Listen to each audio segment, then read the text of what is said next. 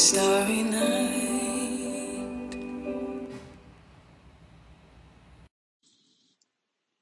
It is a night of stars.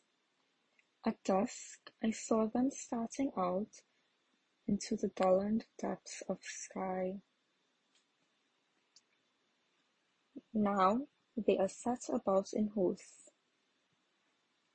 and are all trembling as though a little wind does lull them as it passes by.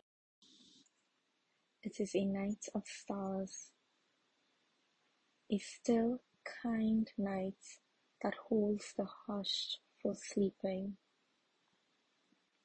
The unnumbered suns are strewn carelessly, lavishly in the lap of space, and flush their ways with light they radiate in countless numbers. It is a night of stars. A darkness swelters earth like deep, soft sorrows on the mind of man.